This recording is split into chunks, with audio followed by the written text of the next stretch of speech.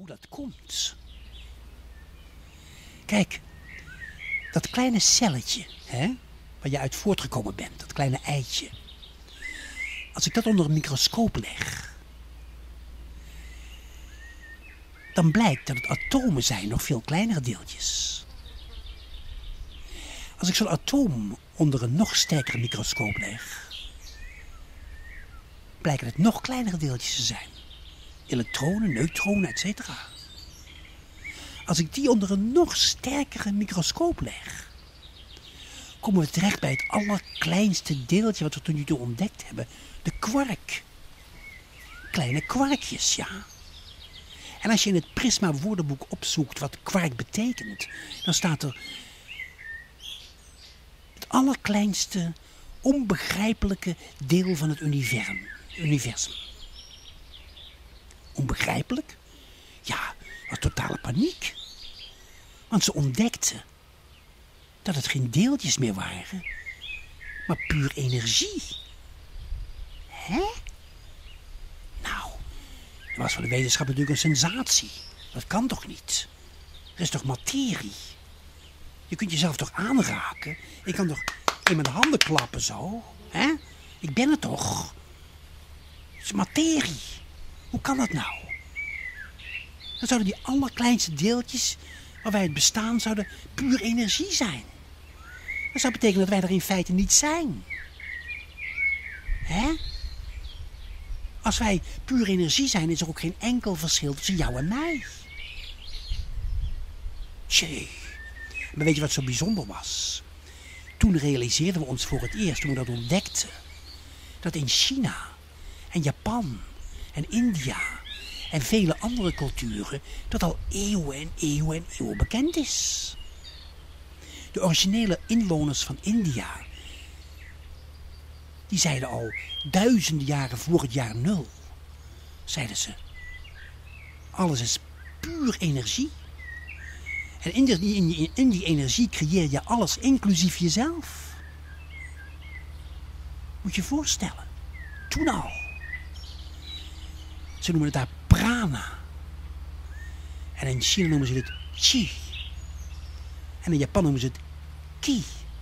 Ja. En nu weten wij het dus ook. We zijn dus puur energie. Ja, maar daar wilde de wetenschap niks van weten natuurlijk. Ik dacht, ja, dat kan niet. En die gingen... Ja, ja, kijk, ze konden er niks op inbrengen, want het was een perfect, door iedereen erkend wetenschappelijk onderzoek. Het deugde. Maar toen begonnen ze meteen met nieuwe onderzoeken om uit te vinden dat we wel degelijk deeltjes zijn, materie. En wat gebeurde er?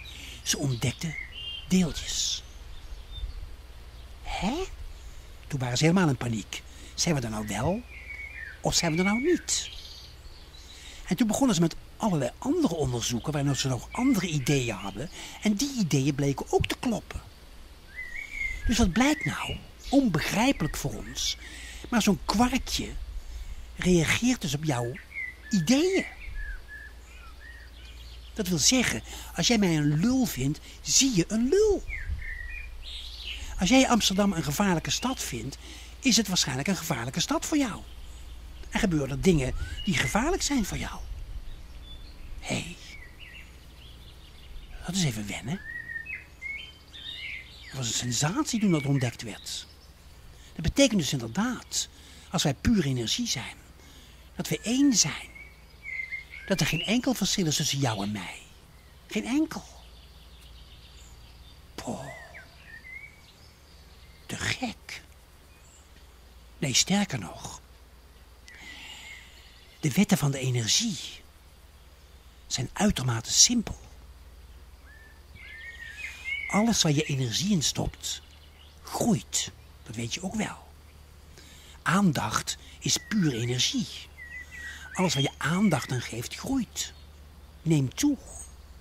Bijvoorbeeld, als jij die exclusieve auto, die je nooit in Nederland ziet rijden, geïmporteerd hebt voor heel veel geld. En je trekt je prachtige kostuum aan en je gaat met je prachtige vrouw. Ga je erin zitten, je gaat rijden. Dezelfde dag zie je nog vier anderen. Daarvoor zag je ze nooit. Mijn dochter die wil dolgraag een Vespa. Die ziet de hele dag Vespa's. Ik zie ze niet, maar zij wel. Daarom zien doktoren ook overal ziekte. Politieagenten overal misdaad. Zakkenrollers overal zakken. En zakenvrouwen overal zaken. ja, zo gaat dat. Maar omgekeerd is het ook zo. Als jij een probleem hebt en je gaat tegen het probleem vechten, wat doe je dan? Je stopt heel veel energie in het probleem. En wat gebeurt er? Juist, het probleem groeit en groeit en groeit. Noem mij maar eens één probleem op waar wij tegen gevochten hebben, wat is weggegaan. Eén. En dan wordt het stil. Een klein probleempje dan. Ik heb deze vraag al echt nou honderden keren gesteld aan heel veel zalen vol publiek. Pas nog heb ik een toespraak gegeven voor de top van de hele Nederlandse politiemacht. Ja. En vroeg ik dus ook, mijn heren en dames, noem me nou eens één probleem op waar jullie tegen gevochten hebben, wat is weggegaan. En dan wordt het stil. Dat weten ze niet. Want elk probleem waar je tegen vecht, groeit en groeit en groeit. En toch hebben wij geleerd dat je tegen problemen moet vechten. Nou, dat is het stomste wat je ooit kunnen leren, toch? Het verkeersprobleem, wat hebben we daar niet tegen gevochten? Is het weggegaan? Vergeet het maar. Het wordt alleen maar meer en meer en meer. In Amerika waren ze op een gegeven moment zo stom, al een hele tijd geleden, om de alcohol te verbieden. Zijn het zo slecht, moeten we verbieden. Nou zeg, het hele land werd dronken. Mensen die nooit alcohol dronken begonnen meteen te drinken. Illegale alcohol.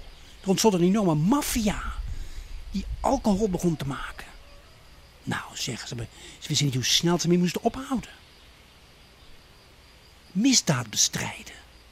Heeft het ooit geholpen? Nee. We hebben cellen tekort. In Amerika zitten al meer dan 2 miljoen mensen vast. En is de misdaad weg? Forget it. En als je dat eenmaal weet, dan wordt je ineens een hele hoop duidelijk.